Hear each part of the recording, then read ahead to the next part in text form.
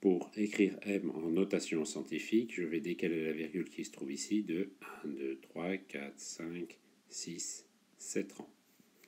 Ce qui donne donc m égale 3,7209540 fois 10 exposant 7 pour que ça devienne plus grand. Je ne suis pas obligé d'écrire le symbole 0 qui se trouve ici.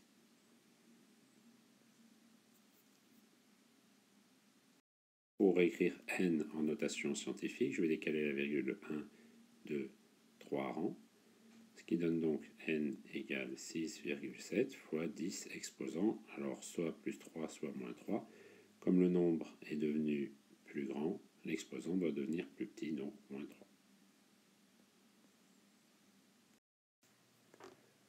Dans le petit 2, on veut calculer m fois m. Précisément, on veut calculer un ordre de grandeur et non pas la valeur exacte. pour calculer cet ordre de grandeur, je vais procéder par approximation. À la place de m, je vais dire, à la place de 3, etc., je vais dire que c'est environ égal à 4, fois 10 exposant 7. Donc à la place de m, j'écris 4 fois 10 exposant 7, multiplié par n, n 6,17, je vais dire que c'est environ 6. Donc 6 fois 10 exposant moins 3.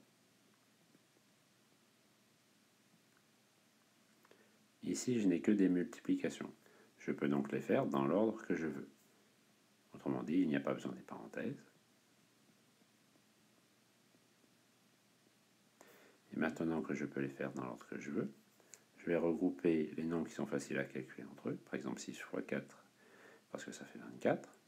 Et 10 exposant 7 fois 10 exposant moins 3, qui font 10 exposant 7 plus moins 3, autrement dit 7 moins 3, et ça fait 4. Donc ici j'écris fois 10 exposant 4.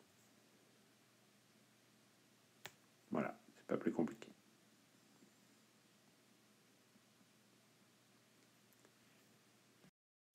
Alors attention tout de même, on va préférer l'écrire sous la forme d'une écriture scientifique donc ça va faire 2,4 fois 10 exposant, ici c'est devenu plus petit. Donc là, il faut que ça devienne plus grand. Donc fois 10 exposant 5. Bon, il ne faut pas écrire la virgule, hein, c'était juste pour expliquer. Maintenant, je veux calculer m sur n.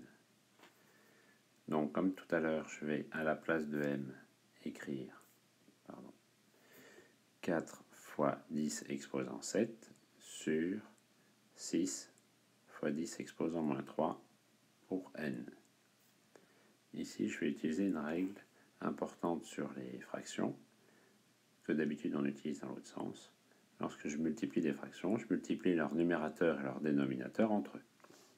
Pourquoi je fais ça? Parce que là, je peux calculer cette fraction ici, 6 sur 4, 4 euh, sur 6, pardon, c'est 4 divisé par 6, autrement dit c'est pareil si je simplifie par 2 que 3, 2 divisé par 3, et 2 tiers c'est environ égal à 0,666. Remarquez ici j'aurais dû mettre le environ égal dès le début.